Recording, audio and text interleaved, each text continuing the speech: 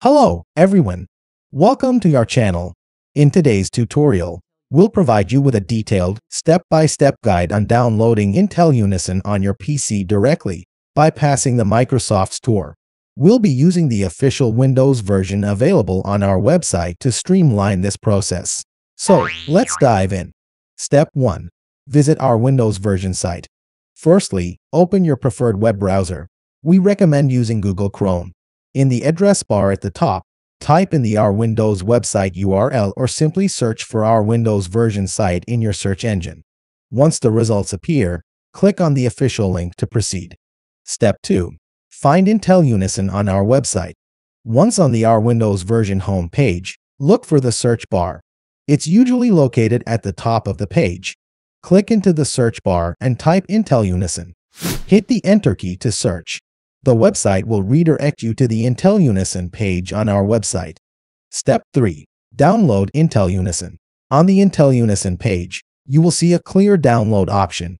Look for a button Download. This button will allow you to download the installation file for Intel Unison. Click it, and the download will begin, saving the setup file onto your computer. Step 4. Locate and run the installer. After the download completes, Navigate to your Downloads folder or wherever your browser is set to place downloaded files. Locate the Intel Unison installer, it should end with an X extension, and double-click on it. This action will launch the installation wizard for Intel Unison. Step 5. Install Intel Unison. A series of prompts will guide you through the installation process. Follow these instructions, which will include agreeing to the Intel Unison terms of service, choosing a directory for the installation, and then confirming your choices to proceed with the installation. Step 6. Finish installation. The installer will continue to install Intel Unison on your machine. This process may take a few minutes.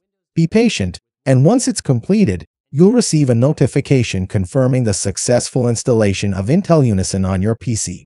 Step 7. Launch Intel Unison.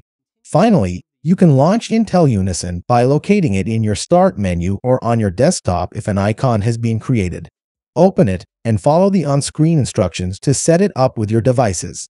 And that's how you download and install Intel Unison onto your PC without the Microsoft Store, using our Windows version website.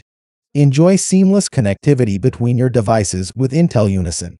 I hope you found this tutorial helpful. If you have any questions or require further assistance, please don't hesitate to leave a comment below.